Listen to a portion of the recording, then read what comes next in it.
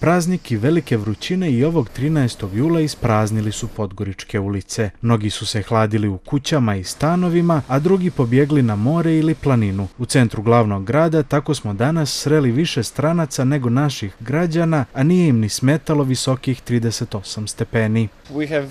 Ovdje ćemo biti dva dana, a ostatak odmora ćemo provesti na moru. U Poljskoj je bila kiša kada smo odlazili, a prijatno smo se iznenadili klimom u Podgorici.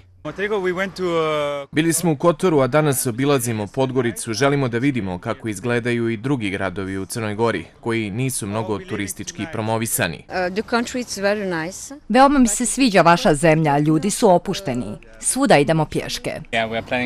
Planiramo da ostanemo dvije ili tri sedmice. Iznajmit ćemo automobil i obići i ostale gradove i na sjeveru i na primorju. Voljeli bi da posjetimo i vaše nacionalne parkove i jezera. I Njemci kažu da ih je u Podgoricu između ostalog privukla pogodna vremenska prognoza. Vrućine koje traju posljednjih 20 dana ipak će malo posustati krajem sedmice. U glavnom gradu narednih dana, sve zavisi koliko daleko idemo s tim narednih dana, danima, bit će najprije veoma toplo, sunčano, od e, petka kreće blagi pad temperature, Biće on oni primjetan u subotu i nedelju, Biće to već neke prijatnije temperature, a u nedelju postoji mogućnost i za poneki pljusak, dakle ono što manje više svi već priželjkujemo.